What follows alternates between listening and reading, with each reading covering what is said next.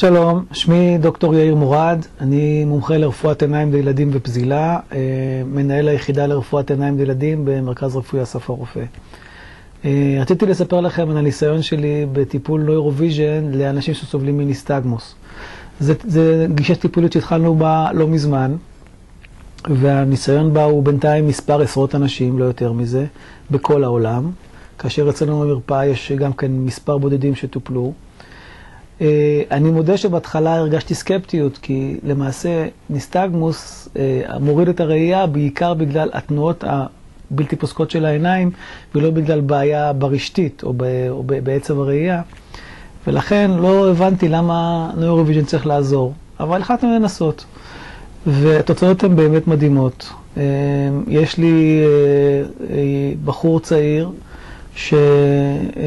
בן 22, שניסה לקבל רישיון נהיגה כבר מגיל 17 ונכשל פעם אחר פעם בבדיקות לרישיון נהיגה.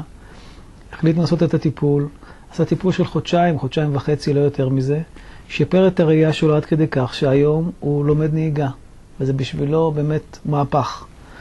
אה, ועוד כמה אה, מטופלים כאלה שמרגישים גם סובייקטיבית וגם אובייקטיבית, כשאנחנו בודקים אותם, שהראייה פשוט משתפרת. אה, אני יודע שיש אצל קהל הרופאים סקפטיות רבה לגבי הטיפול, אבל אני מציע להתגבר על הסקפטיות ולנסות.